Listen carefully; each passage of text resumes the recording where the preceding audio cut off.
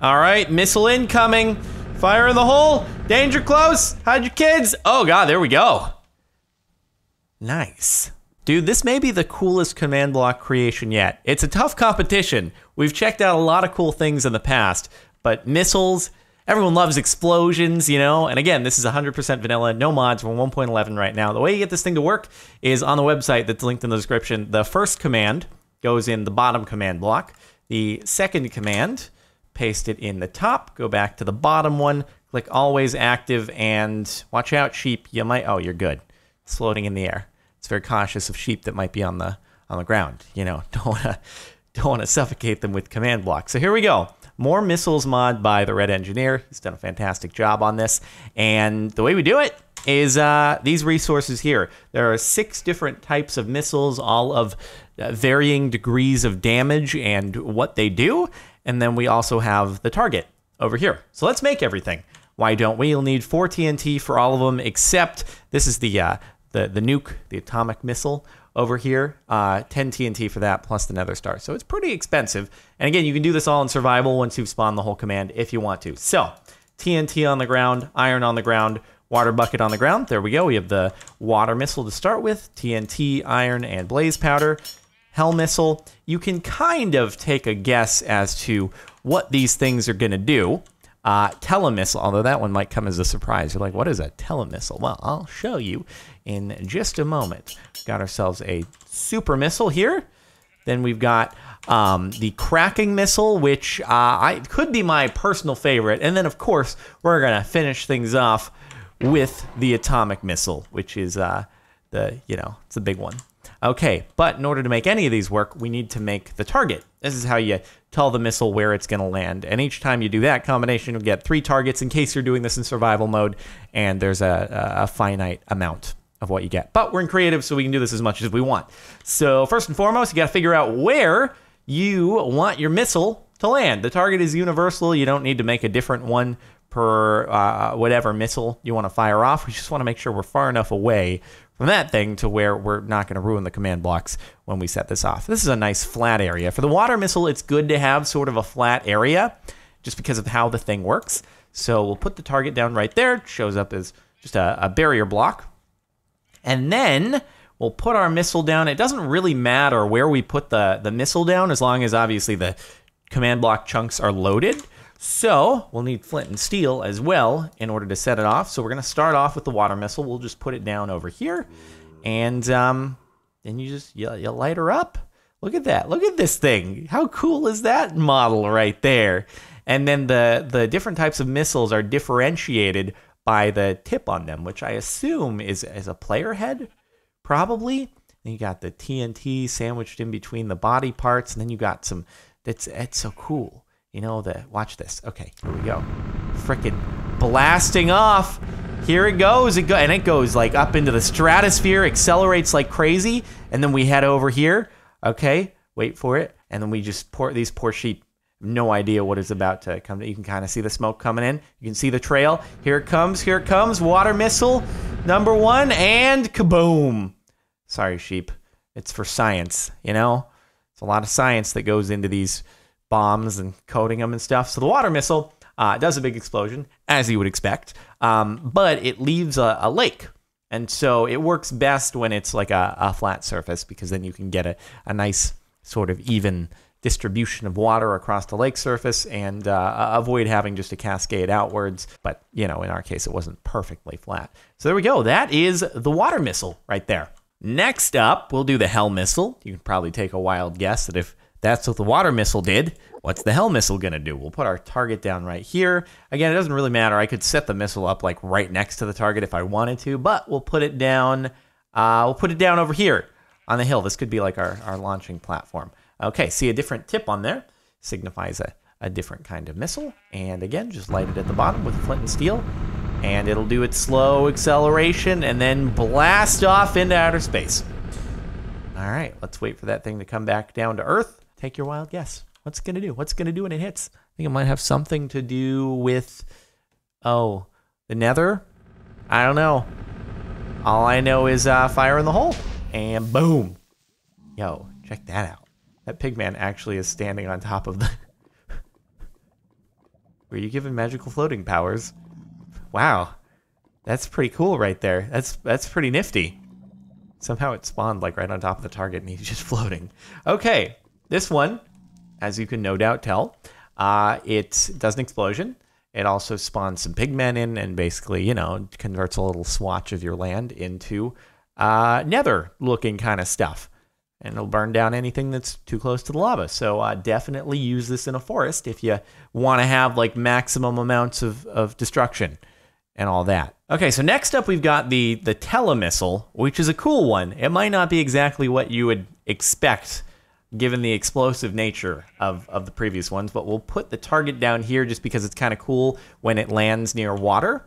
And uh, we'll just set the missile off from, uh, from right here. Again, doesn't really matter where that's from. This one has a bit of a purple tip to it because, you know, ender, purple, teleporting. Obviously, given the name, it has something to do with teleportation, but exactly what, you may wonder. All right, here it comes. I'll even stand close right here because there we go. All right, hey, magically I'm up in the air. So the way this thing works is when it hits, it, it doesn't do like an explosion. It uh it actually just sends a few cubes of terrain up into the air. I sent off another one over here as well, so you get kind of a, a, a double impression of it. Um, so that's what it does each time. I, I believe that even if you're in survival and you stand there, you'll be fine as long as you know you end up on one of these blocks instead of uh, just falling back down to the ground. But it doesn't actually explode. Kind of different, kind of cool, right? Not what you expected. Or maybe you're just like, no, nah, I, I knew exactly what that was going to do because I'm good at predicting things. Anyway, telemissile, cool stuff. And then the water cascades down. That's why I wanted it to be next to water because I think that's kind of cool. Next up, we've got the super missile, which uh, it's sort of your run of the mill standard explosive, what you saw me set off in the introduction.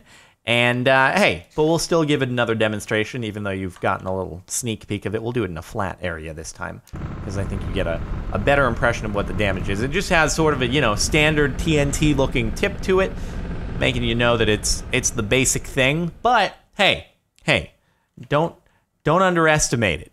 It does some damage. Here we go, plain old TNT and lots of it. Kaboom!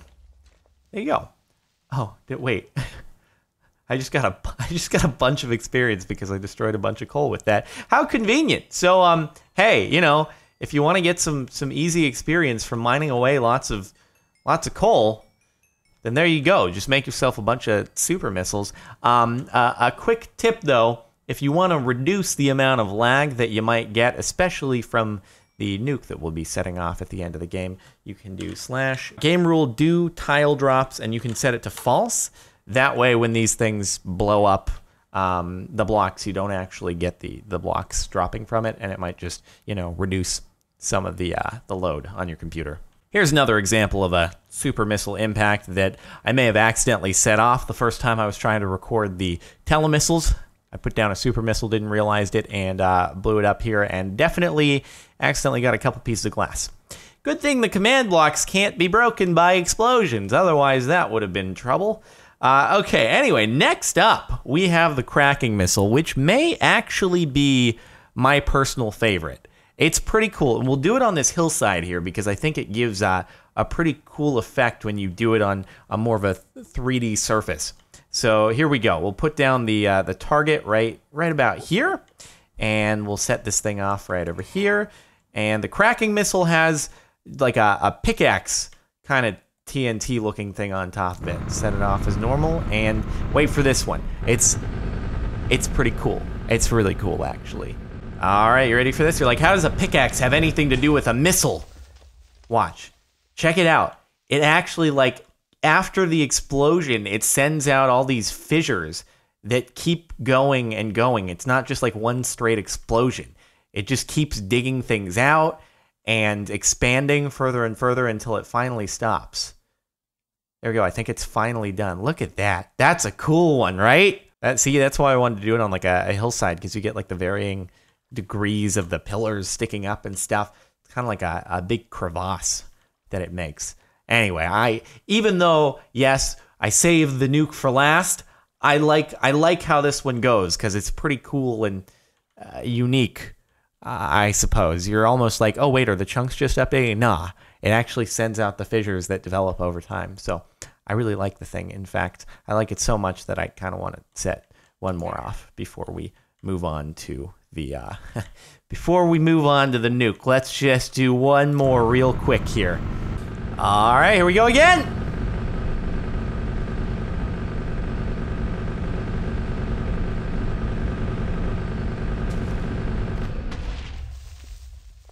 lesson learned uh just you know make sure that you don't have you don't have a block next to it. At least give it a little bit of space. Um, a block next to the target that is. All right there we go. Cracking missile number two. Ooh, we even get a little bit of lava into the mix this time around. Nice all right i i can safely say we've uh, obliterated this hillside pretty nicely the top down view like look at that's pretty cool look the fissure went all the way out to here it's like everyone's worst fear when it comes to an earthquake is like the ground opening up and swallowing things. Um, yeah. All right, there we go. Cracking missile. Careful of where you put your target down. Make sure it has a little bit of space. Lesson learned. All right, everyone. The grand finale here. The nuke, which again costs a little bit more TNT, requires a Nether Star if you want to do it, but uh, it's real powerful. So let's set the thing off. You got this, uh, you got the, the radiation symbol tip on there, so you know it's pretty serious. And uh, if you don't, if you don't really care about your world and you're like, oh, I'm gonna start a new one, then this is a good way to uh, send it off because it ruins everything pretty much. Highly recommend not being in survival if you want to live to see the explosion. And you're like, oh, it's pretty small. It just looks like a super missile. No, mm-mm, mm-mm, wait for it. Wait for it. Keep waiting. Keep waiting for it. Just keep waiting for it. That's not all. That's not all. This is why I said I recommend uh, changing the game rule for tile drops. Because it's going to be a bit of a doozy this time around. Still waiting for it. Still waiting for it. Look at all those gravel blocks flying into the air. Oh, just wait for it. Wait for it. Wait for it to. Oh, there you go. Oh, there you. Oh, there you go. Oh, that's a that's a big one. That's a, it's a real big one right there. Okay. Yeah, see, you saw that first. You see the you saw the first little impact. You're like, oh, it's not that big. Mm, oh, ooh. And uh, apparently, radiation sickness is uh, hunger four.